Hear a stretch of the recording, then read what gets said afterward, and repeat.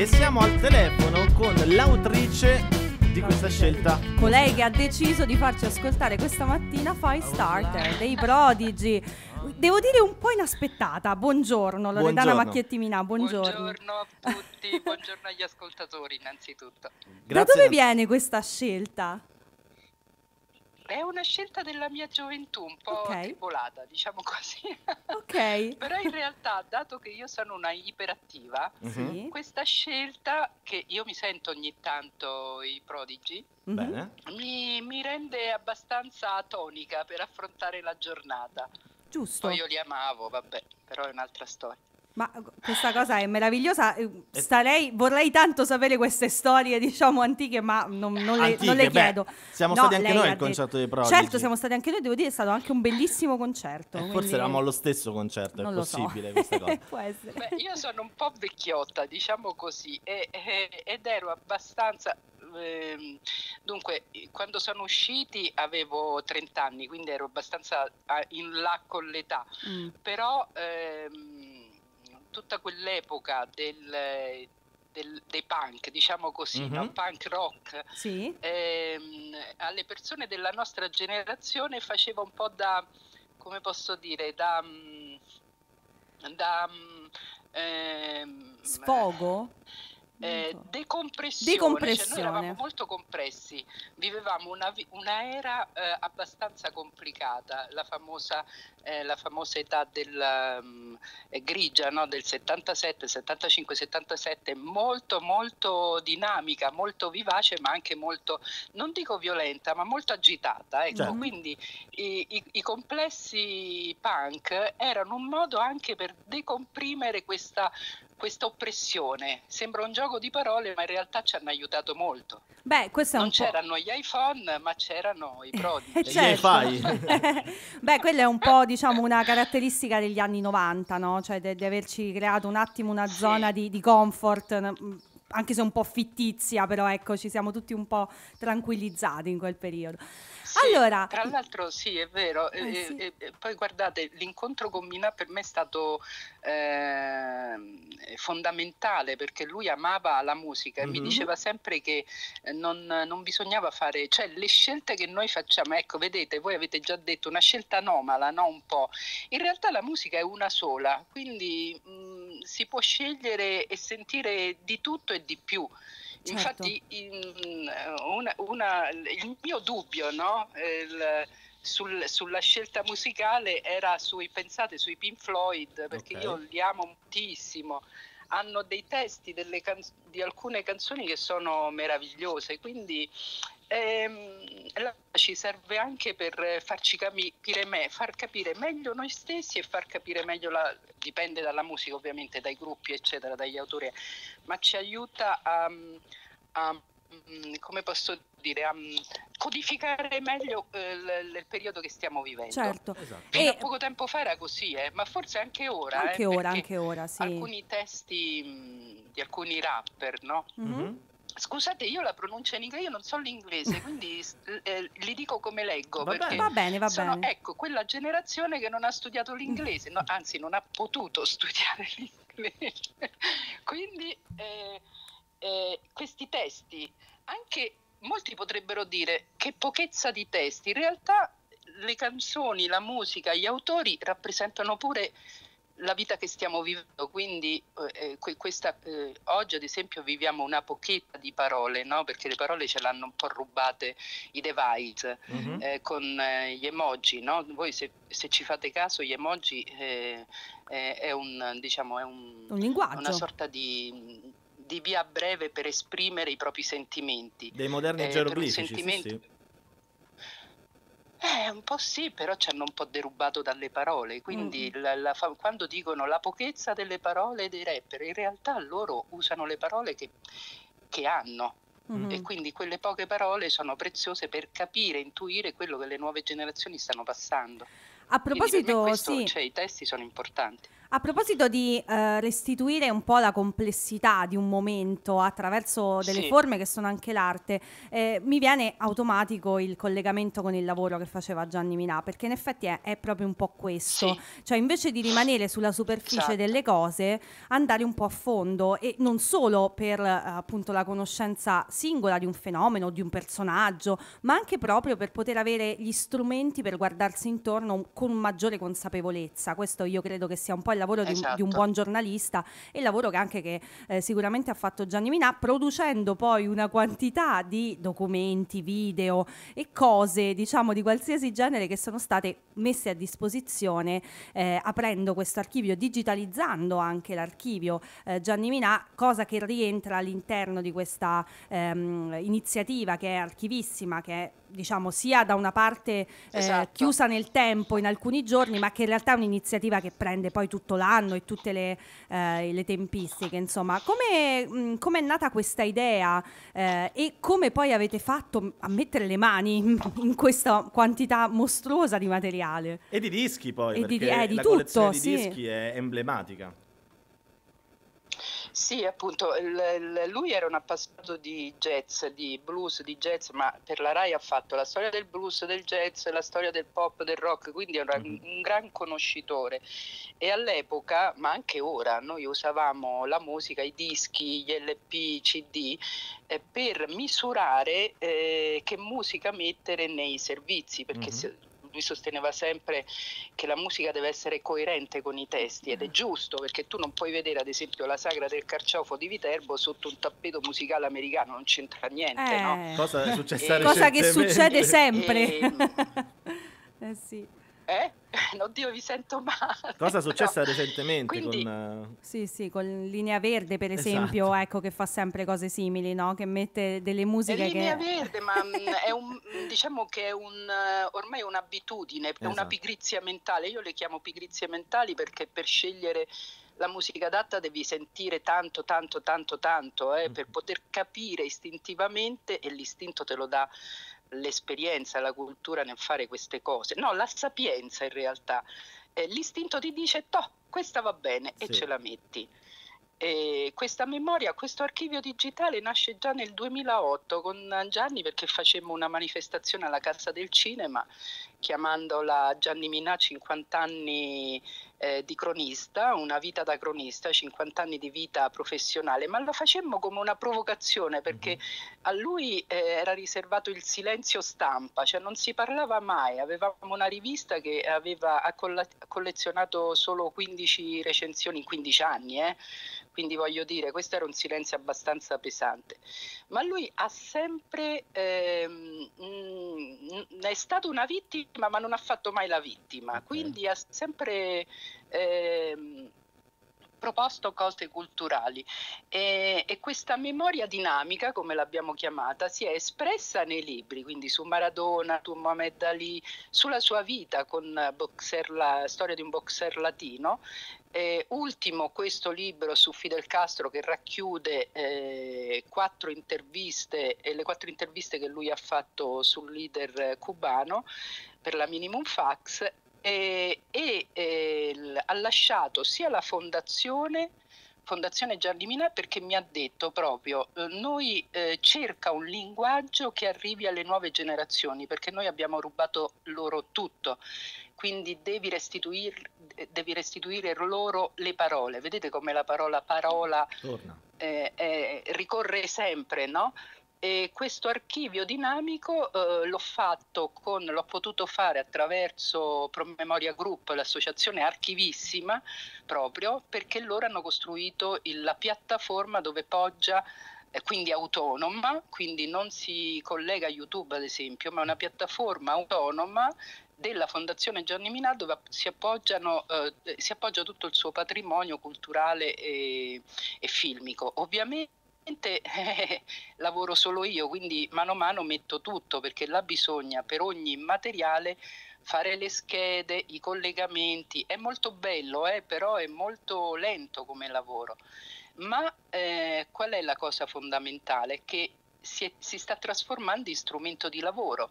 Cioè si- io sto collegando l'attualità con la memoria di Gianni, quindi ad esempio il 17 maggio il Papa, Papa Francesco, ha bypassato i partiti, ha voluto incontrare i movimenti popolari di base, quindi movimenti laici che sono in Italia, sono più di 700 sigle, se voi avete fatto caso non c'è stato nessun uh, commento, ness- pochissimi, pochissimi articoli, ma per me questo è stato un, diciamo, un appuntamento storico e l'ho collegato nel, nell'archivio digitale di Gianni Minà con le interviste che lui fece al um, social forum di Porto Alegre, ci doveva fare un documentario che la RAI poi gli rifiutò. Mm. Quindi noi abbiamo l'attualità con questo incontro, con questa rinascita dei movimenti popolari e la radice che è il social forum di Porto Alegre. Si può trovare nell'archivio digitale di Gianni Minà. Quindi Gianni Minà vive ancora e fa ancora il suo mestiere. Accidenti, con le sì, sue sì. parole ovviamente. Tutto è su www.giannimina.it Certo. perché internet non permette Esatto. caratteri speciali, mi raccomando, se no eh, cercate su Google e, e il primo risultato. www.giannimina.it sì, eh, si scrolla fino in fondo, c'è l'archivio Gianni Minà, si richiede la password Mhm. perché è un archivio ovviamente privato ma aperto, nel senso che eh, uno prende la sua chiavetta e gira e ricerca quello che vuole. A proposito Ovviamente di... ogni giorno Sì. metto cose. Ecco, a proposito di, mh, di attività, eh, che numeri ha l'archivio, ehm, l'ideale archivio completo e che, mh, A che punto siamo? siamo? Eh, sento poco, però ho intuito che numeri ha l'archivio completo, cioè quanta roba ci sarà. Al Eh, posso 100% dire e che proge- mh, che- a che punto siamo per l'inserimento in questo momento? Eh no, allora io ho calcolato che mi ci vorranno almeno due anni Ok. perché io ho tre magazzini pieni di cassette. Queste cassette devono essere trattate, cioè devono, devono essere trasformate eh, con il supporto, sono dai BVU a VHS, da tre quarti a pellicola. Mhm. È un processo molto lento, molto complicato, però ad esempio ho fatto già tutto il social forum, sono almeno 15 interviste, però queste interviste che devo fare le devo far tradurre, Certo. quindi o in portoghese o in spagnolo, eccetera. Una volta che sono completate eh, ci inserisco le schede, le schede sono eh, non so, la scheda della, della persona, quello che ha fatto, ehm, un esempio, non so come posso, ecco ad esempio sul social forum ho fatto la scheda dei, mh, della, della prima, diciamo, eh, del- della prima, chiamiamola rivoluzione, ma in realtà è una protesta, della protesta di Seattle del 98, quindi là faccio la scheda perché tutto nasce da Seattle, in- tutto nasce, cioè le proteste nascono in- negli Stati Uniti e anche ora. Se voi vedete, questa cosa un po' mi diverte perché se vedete, ad esempio, eh, c'è un sito no? Ehm, che si chiama ehm, ACLED, eh, cioè mh, è un sito inglese dove si ACLED, acleddata.com, Mhm, eh, sì. vi do un dato dove eh, sono monitorate tutte le guerre nel mondo, sono circa 59, no? ma in primo piano, se voi vedete nella pagina dell'ACLED ci sono gli Stati Uniti perché stanno proprio ehm, sobbollendo, scoppiando le università. Eh, eh, e questa cosa è molto interessante, quindi ritornando alle dimostrazioni eh, di Seattle, cioè il- il- da lì nasce la parola eh, oddio, ehm, eh, oddio, no, mi viene, c'è un vuoto. Eh, mannaggia, ehm, vabbè, poi mi viene dopo. Ok. Comunque, da lì nasce il social forum eh, che aveva già dato le ricette per il cambiamento climatico, per il cambiamento sociale, per il buon vivir, Mhm. che beh, ovviamente i governi hanno buttato nel cestino. eh. Ora si ricomincia tutto da capo, però con parole più povere, ma io sono molto contenta perché qualcosa si muove. Cioè, ehm, anche se è molto più difficile oggi eh, il- eh, fare un qualcosa di diverso in questa società che è molto targetizzata. E poi il- anche il superpotere della, della memoria, cioè il, eh, attingere ad un archivio, in questo caso veramente eh, sterminato, autorevole, ma soprattutto veramente a chilometro zero dalla fonte, eh, permette Esatto. l'allenamento della memoria, ma soprattutto la registrazione di un dato che ha un tempo. Noi siamo in un altro tempo e la distanza tra i due punti racconta anche quanto movimento c'è stato da loro a noi e da noi a loro. E se ci sono stati dei piccoli movimenti, registrare questa cosa come notizia e o- operare di conseguenza. Eh, allora, intanto la parola di prima era globalizzazione, Ok, non sì, mi era venuta. sì, cioè, loro hanno scoperto la parola globali, cioè il- la descrizione di quello che stava succedendo l'hanno chiamata globalizzazione, da lì tutti, tutti i movimenti, eccetera.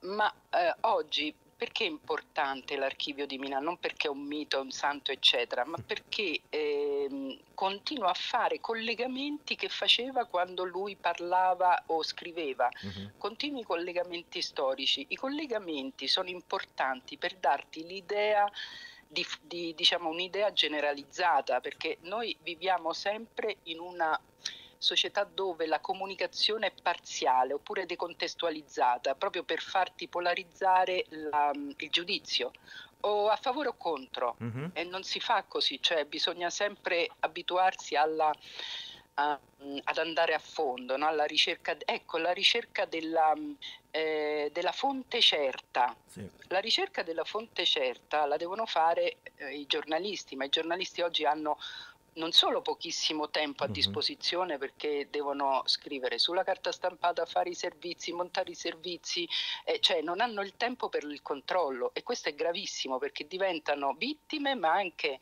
eh, diciamo carnefici, no? diventano costruttori di mala informazione, fake news, ora la chiamano fake news, però insomma è una informazione eh, fittizia che, Sì. che diciamo inquina il mondo dell'informazione, l'inquina non- perché non puoi più cercare la fonte certa. Certo. Nell'archivio dinamico di Gianni Minà state tranquilli che ci sono solo fonti certe, per almeno per Cuba sì. Per Cuba sì, perché? Perché lui aveva, non perché era castrista, eh, assolutamente, lui aveva capito che su Cuba gli Stati Uniti testavano per primi per prima la, mm, le dinamiche, le strategie di comunicazione, punto. Infatti là eh, tutto nasce da come ehm, funzionano i rapporti tra Cuba e gli Stati Uniti. Cioè, non che il mondo della comunicazione è cambiato tra Cub- eh, con Cuba, però molte strategie vengono da lì e si sono riverberate. Poi, vabbè, c'è stata la cosiddetta primavera araba che ha mm, veramente rivoluzionato il mondo della comunicazione, anzi là c'è stato proprio un modo per trasformare la comunicazione in arma di guerra, però Mhm. quella è un'altra storia, ma si approfondirà nell'archivio di Gianni. Ci- sì. Arrivano attraverso WhatsApp ehm, tanti tanti messaggi degli ascoltatori e delle ascoltatrici che ringraziano veramente di cuore per questo lavoro. Qualcuno eh, scomoda il termine monumentale, ma sicuramente di grandissimo valore.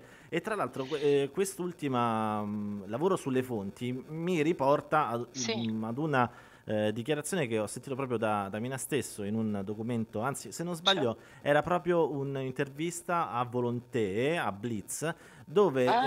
eh, in- l- lui si dichiarava completamente ossessionato dalla eh, ricerca delle fonti, ma anche la, ricer- anzi, la creazione di rapporti umani con le, eh, le persone che incontrava. Dal grandissimo Sì, attore all'assistente, veramente senza distinzioni. In cosa consisteva questo, tra virgolette, fact checking e soprattutto che mole di documenti ha portato dentro l'archivio? Beh, lui quando doveva intervistare una persona, intanto sceglieva le persone per l'umanità che rappresentavano, cioè Bene. non gliene fregava niente del ruolo professionale che, che co- ricoprivano, eh, perché ad esempio, un esempio così en passant è Antonio Vermigli Mhm. della rete Radio RS, un postino che era in fresca pensione, mm, eh, lo, lo cercò disperatamente per fargli conoscere Lula quando ancora non era il presidente del, del Brasile, Brasile. ma era un metalmeccanico. Mhm. La rete Radio RS, una rete cattolica che face- fa molto volontariato in Brasile, aveva conosciuto Lula del movimento dei, dei tra, trabajadores, cioè dei lavoratori, eh, un, era un, è un movimento, non un partito, qui molti l'hanno detto un partito uh, marxista, invece nasce proprio, là, vabbè, là è un'altra storia dei movimenti che sono mischiati ai cattolici e di sinistra, come era un po' l'Italia negli anni 70-75, eh, le, le, comunità di base eh, bianche e rosse erano uguali, cioè mm-hmm. un, un, un lavoro molto simile e quindi lui eh, che faceva? Per ogni persona eh, studiava almeno 5, 6, 7 giorni, mi faceva cercare tutto eh, nei, non nel computer, perché all'epoca non esistevano neanche nei computer, io andavo in, in, um, in biblioteca, uh-huh. andavo nelle, nei giornali, andavo a fare la ricerca dei giornali e poi portavo le fotocopie e lui studiava, studiava, cioè studiava pure i respiri della persona. Poi quando si sentiva pronto, anche questa era un'altra particolarità che purtroppo non può essere, mm, come posso dire, non può essere replicata. Cioè può essere portata avanti, però lui ci metteva tanto tempo. Ora i tempi dei social te lo impediscono, o, o meglio, puoi anche non essere, eh, cioè no, puoi anche fregartene no, dei tempi social sì. e fare un lavoro per, diciamo, dignitoso. E quindi lui quando era pronto uh, si metteva davanti alla persona e la persona capendo che lui sapeva tutto uh, di loro, si cadeva la maschera, cioè non, non, si nascondevano perché sapevano che lui sapeva. Quindi si aprivano e poi lui era una persona molto, cioè anche questo, no? Ehm, era una persona molto seria ma anche molto dolce. In, eh, però molto molto molto seria, cioè non, se aveva qualcosa da dire te lo diceva senza mezzi termini, eh. a tutti, ai grandi come ai, alle sue figlie. Tra l'altro io ho una figlia che sta tutto di blues e di jazz perché a due anni ha fatto sentire tutta sta musica, io dico ma che, che c'entra? Cioè, se... E lui invece gli parlava come se fosse, le parlava come se fosse un'adulta. era divertente. Funziona evidentemente, porta a buon Quindi frutto. questo, la, il segreto di Minà, sì. Il segreto di Minà è questo, si, mm, era uno che si mm, studiava tantissimo, mm-hmm. cioè ci metteva veramente per una persona anche una settimana, dieci giorni. Eh. Sì. A questo punto io d- darei l'appuntamento al prossimo... Eh, non sento più. All'appuntamento all'interno della, di Archivissima che a Torino sarà il venerdì, il venerdì 7 sì. giugno alle 21 al Circolo dei Lettori. Sì. Eh, ci sarà appunto sì. Loredana Macchietti Minà, Francesca Emilia Minà e modererà eh, l'incontro Antonio Barilla eh, per l'incontro Un inguaribile curioso. A questo punto arrivano eh, giustificatissimi ringraziamenti anche per il lavoro di Loredana Macchietti Minà di adesso e di allora mm-hmm, per il, certo. la ricerca perché appunto altrimenti la, la fatica era doppia, eh, quindi sì. in due si fa molto, mh, mm, molto, più in fretta e molto meglio sì, esatto. evidentemente, quindi grazie per allora e per adesso. Io sarei molto curioso di approfondire queste, mh, mm, questo discorso sull'archivio, magari ci possiamo risentire tra, tra qualche mese o tra un anno se, se fa piacere. Con molto piacere. E magari portiamo anche un po' di blues, perché no? Perché, il, fa, il... perché no? Benissimo, grazie davvero. Grazie. La, la, il grazie prossimo brano è, eh, sono i Calle, come si dice 13 in spagnolo? Calle 13. Calle 13. Calle 13. Calle 13 è un gruppo di uh, sa- ehm, oddio, fanno tipo salsa mm, però moderna, uh, tipo um, giusto, eh, qualcosa di simile. In realtà anche no? loro sono rapper, rapper. Ah no, reggaeton, reggaeton, giusto. Rapperos, una specie di reggaeton, loro. una sorta di testi sono coltissimi. Sì, sì, sì. Li ascoltiamo. Me li ricordo. Grazie, grazie davvero. Li ascoltiamo a volume grazie pari a ai prodigi, almeno. grazie tante. Grazie a voi. Un abbraccio a tutti.